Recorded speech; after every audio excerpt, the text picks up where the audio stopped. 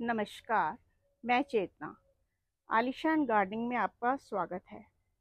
आज हम जिस प्लांट के बारे में बात कर रहे हैं, उसका नाम है अगेव। ये आपने रोड साइड्स पे कॉमनली देखा होगा। देखिए, कितना खूबसूरत प्लांट है। सड़कों के किनारे तो ये आम ही लगा होता है। इसे जितनी खुली बड़ी जगह में लगाएँगे, ये उतना ही बड़ा फूल का सा रूप ले लेता है। देखिए। बहुत खूबसूरत सा प्लांट होता है ये।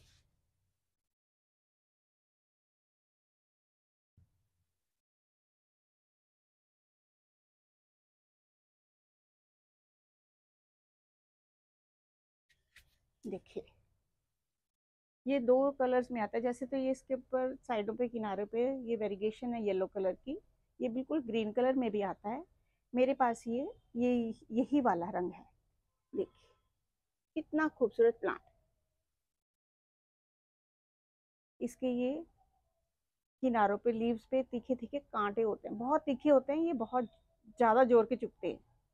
इसलिए ये बिगनर्स के लिए थोड़ा सा टफ प्लांट है।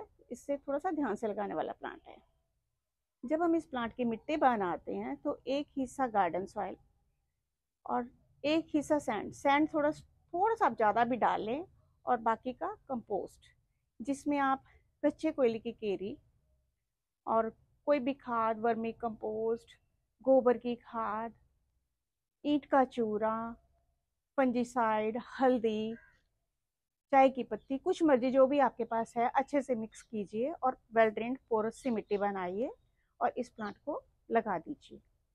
ऐसी मिट्टी हो जिसमें आप पानी दें और इसके छेद से बाहर निकल जाए तो ये प्लांट बहुत अच्छे से फ्लोरिश करता है। अगर इसकी प्लांट की जड़ों में पानी रहेगा तो ये गल जाएगा, क्योंकि ये ड्राउट टोरेंट प्लांट है।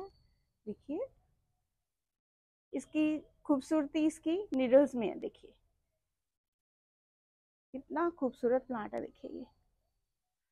बहुत प्यारा। इसकी सनलाइट रिक्वायरमेंट के बारे में बात करूँ तो इस प्लांट को आप सेमी शेड में भी लगा सकते हैं और फुल सन में भी रख सकते हैं। और कंप्लीट शेड में भी लगा सकते हैं। ये हर क्लाइमेट में एडजस्ट हो जाता है। देखिए, ये बहुत ही हार्डी सा प्लांट है। हर सिचुएशन के हिसाब से अपने आप को ढाल लेता है। देखिए, कितना खूबसूरत लग रहा है।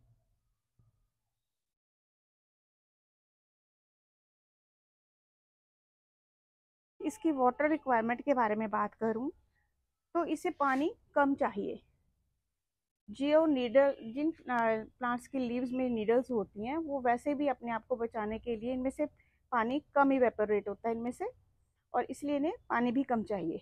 इन्हें आप पानी तभी दें जब इसकी ऊपर की लेयर मिट्टी के ऊपर की लेयर आपको सूखी नज़र आए, तभी आप इसमें पानी दीजिए। इसकी फर्टिलाइजेशन की बात करें तो आपने पहले ही रिच सॉइल बनाई है तो इसे कोई ख़ास फर्टिलाइजेशन की ज़रूरत नहीं है। कभी आप और प्लांट्स के लिए लिक्विड फर्टिलाइज़र बना रहे हैं कंपोस्ट बना रहे हैं तो कभी कभी से वो दे दीजिए। देखिए, प्यारा लगता है, बहुत खूबसूरत लगता है प्लांट भी आपको।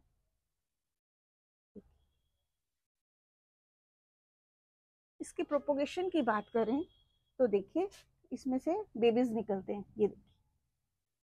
छोटे छोटे बेबीज निकलते हैं, इसे आप अलग कर लें। लेकिन ध्यान से, क्योंकि इसमें कांटे होते हैं। ये भी मैंने ऐसे बना, मैंने एक प्लांट खोला था तो उसमें बहुत सारे थे। बहुत मैंने, मेरे कल पंद्रह बीस तो मैंने बांटे हैं। उसके बाद ये दो मैंने अपने पास रखे हैं। मतलब बहुत ज़्यादा बेबीज निकलते हैं इसमें से। जितने मर्ज़ी देखिए इसमें। इधर से भी हैं, इधर भी हैं। रनर्स ही रनर्स हर जगह रनर्स निकलते हैं। तो बहुत ज़्यादा। एक बार आप लगा लीजिए इस प्लांट को। तो यह हमेशा आपके गार्डन में बना रहा रहेगा बस सिर्फ़ पानी का ध्यान रखना है आपको। खूबसूरत लगता है हेल्दी था रिच देता है आपके गार्डन को अच्छा लगता है। आप इसे सेरेमिक पॉट में भी लगा सकते हैं। खूबसूरत लगता है। इसके ऊपर पेस्ट अटैक की बात करें तो ये बहुत हार्डी प्लांट है। इस पर कोई पेस्ट अटैक नहीं होता। फिर भी आपको अगर सेफ़ साइड चलना है तो आप नीम ऑयल का स्प्रे कर दीजिए। जैसे एक लीटर के पानी की बोतल में एक चम्मच नीम ऑयल तीन चार बूंदे कोई भी लिक्विड डिश वॉश थोड़ा सा गोमूत्र डाल के अच्छे अच्छे से हिलाकर उसे स्प्रे कर दीजिए आप। सेफ़ साइड रहना चाहेंगे तो उसी से बिल्कुल ये पेस्ट फ्री रहेगा। देखिए। कितना प्यारा, कितना खूबसूरत सा प्लांट है ये।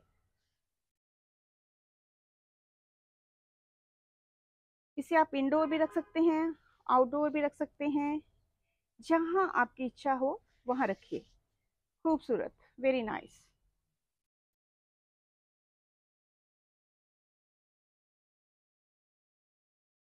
जब ये थोड़ा सा पुराना हो जाता है एज्ड प्लांट होता है तो इसमें फ्लावर भी निकलता है। मैंने बल्कि एक बार रोड साइड के ऊपर ही लगे प्लांट के ऊपर देखा है तो यहाँ से बहुत खूबसूरत सा पिंक कलर का फ्लावर बहुत खूबसूरत। मतलब मुझे बहुत ही प्यारा लगा। उसी के बाद बल्कि मैं इस प्लांट को लेके आई हूँ। तो फूल भी इस पे आते हैं। बहुत सुंदर फूल होते हैं इसके। ये रोड साइड्स पे बड़ा ही कॉमनली दिखने वाला प्लांट है। बस थोड़ा सा इसके कांटों से बचा के काफ़ी तीखे लगते हैं। थोड़ी सी इरिटेशन भी होती है। इसलिए लगाइए इसे और अपने गार्डन को सुंदर सा रिच सा लुक दीजिए। आप किसी मर्ज़ी घर के किसी मर्ज़ी खादी कॉर्नर में लगा दीजिए। अगर आप इसको जितना बड़ा कंटेनर देंगे, उतना ही ये भर लेगा।